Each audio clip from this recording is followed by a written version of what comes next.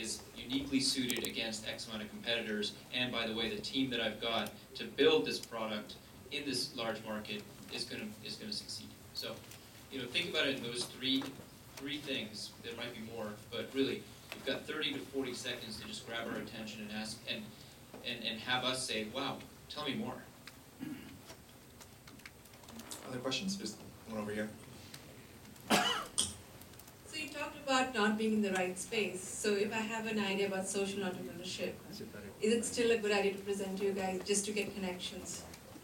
I think it's not, so I would do some research, um, people that are interested in those spaces. And I would also do research not only on the firm, but on the individual that you're gonna be presenting to. Because if they are knowledgeable, they're not only gonna be able to give you great feedback, but they're gonna be able to make the right introductions. If someone came to me with a clean tech company, I don't know where the, where to point them to. So it's gonna be tough, and it's, it's gonna be somewhat of a waste of time for the entrepreneur and a waste of time for the investor. So I'd rather focus on those guys that have expertise in your area. I, I, I actually take a little bit of a different approach. Um, I, I wouldn't reach out and ask for an hour of someone's time, but if you're at an event like this or at a, at a networking event and you bump into a VC, have your, have your value prop, have your, your thirty second elevator pitch down, and that person may be able to connect you or point you to someone that he or she knows. So it, it never hurts to ask, it never hurts to talk about what you're doing, ask for feedback, ask for help, especially in events like this where we're all here to help you out.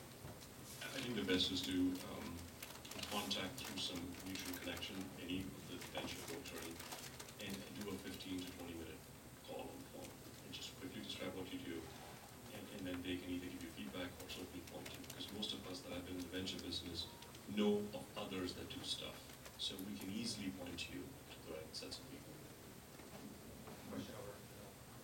I'm sure that you guys get wonderful presentations, by the way, and Vivek, I've used your product in the past, like ten years ago, we bought some beautiful Cobalt uh, machines there. Um, what are some of the best ways to get the attention of a, a venture capitalist, angel, or across that, that whole spectrum? Um, I'm sure you guys get hundreds, if not thousands, of business plans. It must just melt your brain to try to analyze all of these things. How do you get? How? What's the best way for an entrepreneur, maybe an alternative channel, to get a, a, a message across that will grab your attention to get to that next stage? Get introduction through someone that we know, someone that we know and that we trust, that's number one. And then, you know, a blurb on the company that's no more than one page, that we don't have to scroll on the email.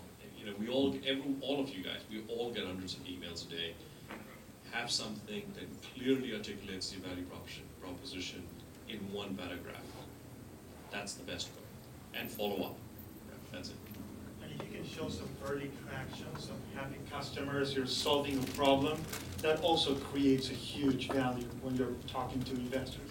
Just say, even if you don't have like hundreds of customers, you have five customers that are using your product, that are happy and the investors can talk to, that's a great proof point.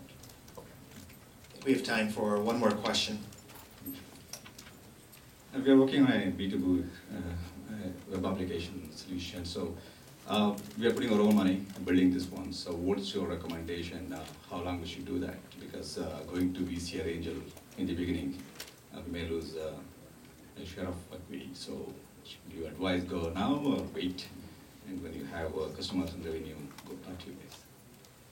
And also, we're looking for Java and UI guys, anybody interested, talk to me. That, that- that's a pretty broad question that probably only you can, you can answer. We, I, I, I personally can't answer that specifically by saying you should wait thirty days, sixty days, but, you know, if, let's speak in generalizations. You know, maybe get, get some of the team together, get a prototype that people can look at and play with, and maybe it's a demo or a wireframe or something like that. And to the extent that you can get one or two, maybe three or four customers excited about the concept, to whom angels or potential investors can talk, then you probably have a better chance of, of securing financing. Um, there are always stages of financing too. You can talk about self-financing, you can talk about friends and family. Friends and family will probably do less work and more bet on you and your team. Angels, specifically angels that you don't necessarily know, those will probably do a little bit more work than venture capitalists. Yeah, I, I don't think there's a right or wrong answer here. I, I think a lot depends on the kind of company you're building and I, think people need to analyze the kind of company you want to build and then realize who the right source of capital are. Because I would say ninety-nine percent of businesses in the United States don't get venture money and they're incredibly successful businesses. It's just their family-run businesses or their lifestyle businesses or others. Uh, Venture, most of us, I would, would suspect, um, look at companies that can get to a hundred million plus and grow. So you will not get our attention if it's a ten million dollar potential company. So you, you, you waste your time mostly by spending a lot of frustrating time talking to us and we keep saying, no, we, are not the right source of capital. You may be better off friends and family or other angels that would be more than happy to have a twenty million dollar exit. Because that's the right thing to do. Good, thank you guys, thanks very much. All the entrepreneurs who presented, uh, raise your hand. Can I get you guys to just step over here on the stage and we'll announce the winner, just come on up. While they're coming up, about a round of applause for the great feedback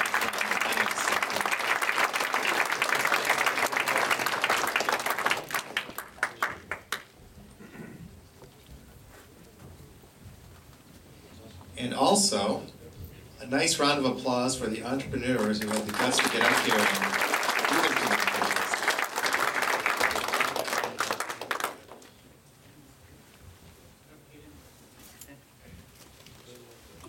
It takes a lot of courage to get up and do this, it's absolutely true. Your photos will, will be on our website, so smile. Thank you for the audience for coming and participating in this event. I hope it was useful. If it was or wasn't, we'd love to hear about why or why not on the feedback form so we can improve this for next time. Uh, and thank you to the TiE staff who, as always, does a remarkable job uh, staying late and feeding us and taking care of us. Um, with that, the panel has convened and they determined that the best pitch of the evening, who will be invited to this Monday screening meeting at TiE Angels, is What's Up? All right, thanks very much, everyone. Come see me afterwards, and good night to everyone.